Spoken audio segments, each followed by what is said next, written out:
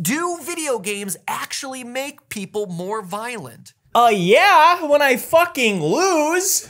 Oh, and there we go. You're your champion right now.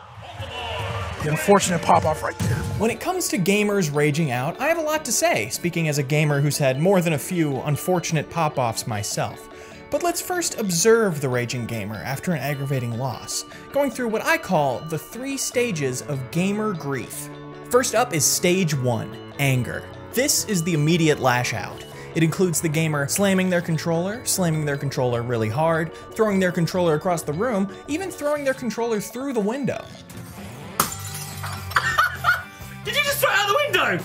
Did you just throw it through the fucking window? Or a PC player might destroy their mouse, unplug their keyboard to more efficiently destroy it, or pull their keyboard apart to scream inside of it like an absolute demon. They might destroy their monitor, start hitting themselves, hit their desk a bunch, or just hit their desk three distinct times to establish order in their courtroom. They can also throw their headphones, throw their headphones and hit their desk, or maybe even clap their headphones together like some kind of ape who keeps getting King Krule in his Discover Weekly. They'll throw their microphone, throw their chair, fall out of their chair, or even square up and box their chair with surprisingly intimidating form for a tiny little kid. They could even destroy their cat tree, by far the most messed up one. What did your cat ever do except be scared awake by your dumbass screaming all the time? They might even go Super Saiyan, smartly hammer the button that throws to a technical difficulty screen so they can rage in private, or my personal favorite, hit their desk so hard it makes their webcam freeze, or even breaks their whole stream setup, revealing their private emails to chat. now, if only Hillary, stage two, despair. Here, the gamer ruminates on how they've failed at or been failed by the game. Sometimes they do this with words. Fuck this shit. You came in this fucking room and everything went fucking bad. And sometimes no words could possibly do it justice. Occasionally, it actually is the game's fault, but about 99% of the time, the gamer is just looking to scapegoat their frustration, often in a ridiculous contrast to what we've just seen as the unbiased viewer. Oh my god, Treyarch, you fucking suck! Why the fuck this game sucks? Treyarch, you guys suck dick! And finally, we have stage three, regret. This stage includes apologizing for your outburst, beating yourself up for how embarrassing that just was, Look at the fucking TV, bro. I got anger problems. or completely unraveling about not being good at the game, because winning at a video game every time you play it is something that matters a lot. I'm a disappointment. I'm a garbage League of Legends player, and I don't fucking deserve anything! This doesn't define you. Some only pass through one or two of these stages, and some speedrun all of them in seconds. God damn it! Damn, you suck. Fuck this game. God damn it. If watching some of those clips you found yourself getting high on secondhand embarrassment, you're not alone. Sometimes gamers raging is entertaining, but sometimes it's just unpleasant. I find not only has my relationship with this type of clip changed over time, but the genre itself has evolved quite a lot over the years. Such a good segue.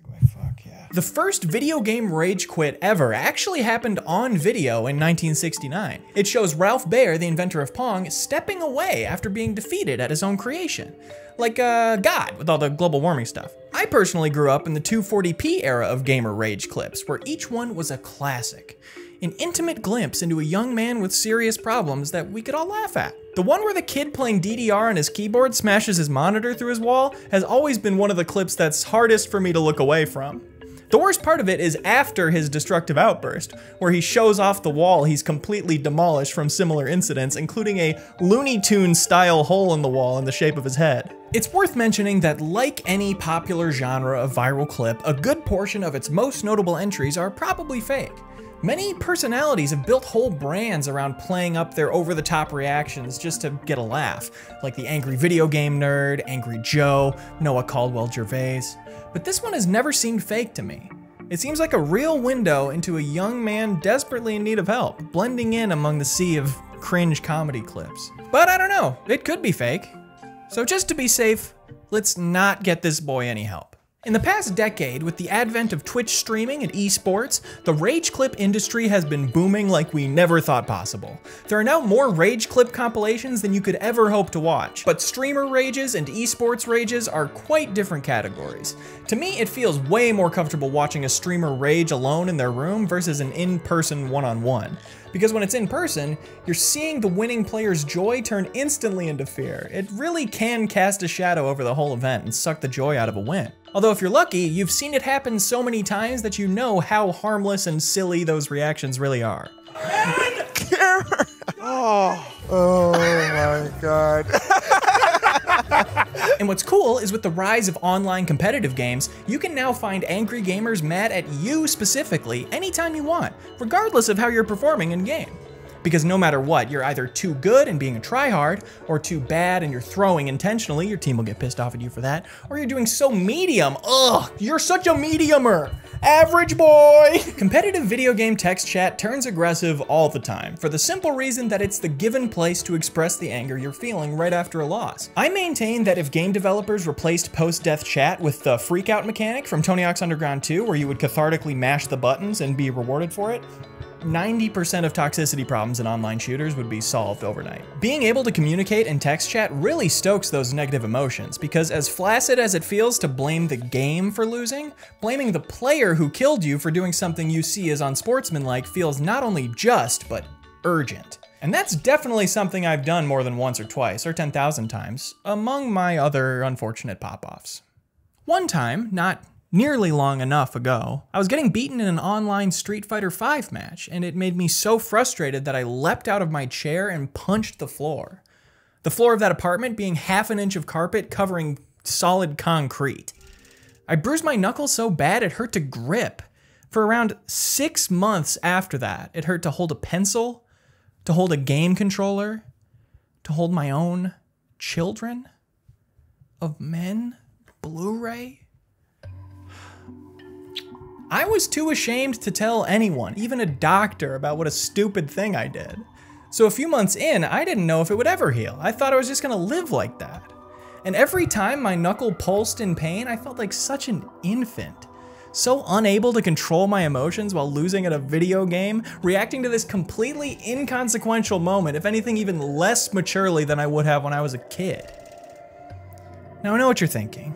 Leo, you're a pimp. That's an awesome story. Thank you, but I think it's humiliating, and maybe not even the worst of the many stories I have like that. That memory makes me cringe harder than the most unpleasant rage clip. But what was I supposed to do? Just walk away from the situation? That's letting the floor win! Let's take a minute to try and explain why games feel so important in the first place. I'm gonna try not to be too much of an armchair psychologist here, but uh, I will be a gamer chair psychologist. There are a few interesting studies out there with possible explanations, but I haven't been able to read those full research papers because information costs money. It's not just being handed out like everyday disinformation. But here's generally where I landed after reading articles and thinking about it a lot. Video games can be a vessel for what's called staging the emotional self. Especially when starting at a young age, it's an opportunity to experiment with different emotions in a safer, more understandable way than real life. And it kind of stands to reason that the happier you are when you win, the more mad you are when you lose, right? It's about how invested you are in your in-game performance. And that's why lifelong gamers, streamers, or professional players might rage more often than, say, my mom playing Wordle. Who just dropped another 2 out of 6, by the way. Just saying. And the more important the game is to you, the more your sense of self-esteem wants to step in and protect you when you're losing. And that's when you yell that the enemy was cheating, the game is broken, a hacker remotely detonated your computer vaporizing you instantly. Another thing worth pointing out is that every clip we've seen today has seemed to feature a man or boy of some kind. The culture I grew up in was full of messages that anger is the only emotion it's cool for men to express, especially if you express it by killing the Russian mob. And some men may already be finding themselves angry at me for making this generalization and writing a rebuttal comment that cherry picks a couple famous examples of women streamers getting angry. And I ask you to just consider funneling that energy into something positive instead. For instance, the like button. There's a school of thought that says anger actually isn't an emotion at all, but a secondary emotion, a response to an emotion. An expression of your sadness or disappointment in a way that feels like it gives you back control over the situation, and certainly feels easier, or at least more natural. All this to say, for me, it certainly fits that the anger I feel when I lose is a deep rooted misdirection of the actual emotion I'm feeling disappointment in myself. I have put myself in this game with my whole heart, so my character's victories are my victories, and my character's defeats are my personal failings. And that's emotionally intense. Imagine if I was shooting at opponents in real life and one of them killed me. I would be so mad. The catharsis of making fun of all these clips is that I'm making fun of myself. And I'm telling myself I'm recognizing more and more at a deeper level how stupid it is to react this way. And so surely now I'm gonna change. All it should take is one revelation, right? Assassin's Creed revelation. But I have been on a many years long intentional journey to stop freaking out about video games, and there is no trick that stops me from raging out in the moment. If I've let myself get into that situation where I have to clutch after hours of getting my ass kicked, already frustrated with no time to pause, and then I lose in a surprising way, Let's just say my desk, keyboard, body, and floor better watch out because they're due for a pop off most unfortunate. So the only useful technique for me is to not let myself get to that point. To pause, remove the headphones, and take some deep breaths when I can tell I'm carrying too much. A damp towel on the forehead helps, getting up and stretching, just having quiet time to myself. I also like to think about how much I look up to my friends who handle their upsetting gamer moments like absolute kings, unfazed and never forgetting that we're all here together to have fun, playing a video game, the things you pre-order at Toys R Us. I've also heard stress balls or pillows are good to have around for a safe outlet, and I've even been seeing research that throwing major ass can be a healthy coping mechanism. And let me tell you, these techniques, they work sometimes. I haven't tried the ass one. My instinct is to beat myself up for still not being perfect about it, to be self deprecating for an easy joke, but I have gotten somewhat better. I haven't punched or bitten anything in a long time, but I've sure precision striked Alt F4 so hard I had to order replacement keys. Of course, self-improvement is never a straight upward path. There are some misses that I have to forgive myself for. You know, let's stop dancing around it and just talk about therapy. Everyone says go to therapy, like that's a thing you can just decide to do and then you're doing it ridiculous. Not only is it expensive and a pain in the ass to even get to the point where you're told they're too busy to accept new clients, but gamers don't have any time to go to therapy because we're almost done with the battle pass. So there are links in the description for cheaper sliding scale options to look into if you've been needing those. Maybe this video about gamers embarrassing themselves has taken a turn, but I have personally talked through this stuff in therapy, and it's where I got most of the tools I use. It's helped a lot more than just being ashamed of myself did. I'm also reminding myself that this struggle is not the end of the world. Raging out at video games is funny, after all. I laughed a lot taking notes on rage compilations for this video in my Patreon stream. And even when I'm playing with my friends and one of them screams out in anger, Alex, it usually just makes the rest of us laugh. And of course, this isn't the only thing in my life that makes me angry.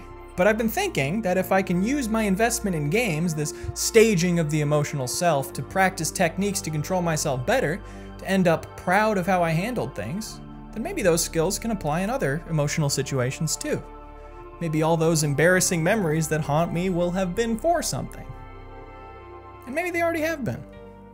Honestly, did you even do anything in that round, or like, why are you even playing with us right now, man? That you're not going to contribute. Um, let's go around in a circle and say a teacher that really had a big impact on us. What? Well, for me, it would be Mrs. Olson. My kindergarten teacher, because I'm in kindergarten, we make finger paints. Is that what you're saying, gonna say? Because you're a fucking little baby? My fourth grade teacher died uh, the year Good. after. Okay. I'm glad. I hope, it, I hope it affected you. Why are you playing this game if you're not gonna even do the simplest things? I'm just trying to have a little fun, you know, blow off a little steam. Personally, why do you and why do you play? I want to have fun too, and fun to me, dude, isn't doing what you're doing. It's not failing miserably. Did I call okay, you dude? Fun, I'm calling you dude. The way you condescendingly dude. said it made it feel like you were mad at me for calling you dude. I'm mad at you I, for a lot of reasons, okay? I think it would be healing for us to go through those reasons one by one. All right, number one, you're a little bitch. Stop. Okay, it's kind that's, of a that's, opinion. That's that's the list. God, dude. Shut the fuck up so I can hear the game, okay? I can't hear when they're coming at me. When you're, uh, duh, duh, duh, I play, it doesn't hurt me. Well, it hurts me when I can't play the game like I normally do. When I have someone like you jib jabbing away like a little jib jabber. Stop talking! A jib jab is something that's brought me a lot of joy. Is there anything, any kind of Where internet? Where do you live? What's your address? I'm going to find you. I'm going to strangle you in your sleep. Well, I don't want to say you could, that's your right. It'll it hurts my me to hear that. It'll, it'll be my right to stay silent when I get arrested for the murder of you. It's interesting you know about the Miranda rights. Have you ever considered becoming a police officer yourself? I am a police officer, actually. How'd you know that?